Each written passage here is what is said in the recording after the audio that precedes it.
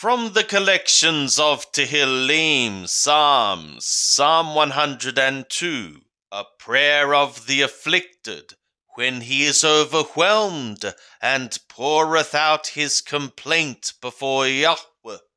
Hear my prayer, O Yahweh, and let my cry come to thee. Hide not thy face from me in the day of my distress. Incline thy ear to me in the day when I call. Answer me speedily. For my days consume away like smoke, and my bones are burned as a firebrand. My heart is smitten like grass and withered, for I forget to eat my bread. By reason of the voice of my groaning, my bones cleave to my flesh. I am like a pelican of the wilderness. I am become as an owl of the waste places. I watch and am become like a sparrow that is alone upon the housetop. My enemies reproach me all the day they that are mad against me do curse by me.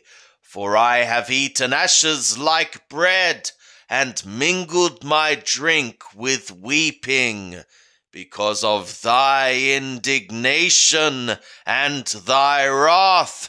For thou hast taken me up and cast me away. My days are like a shadow that declineth and I am withered like grass. But thou, O Yahweh, wilt abide forever, and thy memorial name to all generations.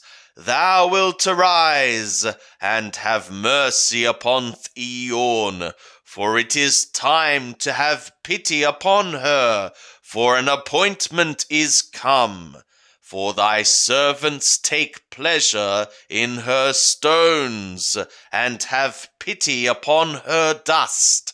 So the nations shall fear the name of Yahweh, and all the kings of the earth thy glory. For Yahweh hath built up Theon, he hath appeared in his glory, he hath regarded the prayer of the destitute and hath not despised their prayer. This shall be written for the generation to come, and the people which shall be created shall praise Yah. For he hath looked down from the height of his sanctuary, from skies did Yahweh behold the earth, to hear the sighing of the prisoner, to loose those that are appointed to death, that men may declare the name of Yahweh in Theon, and his praise in Jerusalem, when the peoples are gathered together, and the kingdoms to serve Yahweh. He weakened my strength in the way, he shortened my days. I said, O my God, take me not away in the midst of my days. Thy years are throughout all generations. Of old didst thou lay the foundation of the earth, and the skies are the work of thy hands. They shall perish, but thou shalt endure. Yea, all of them shall become old like a garment. As a vesture shalt thou change them, and they shall be changed.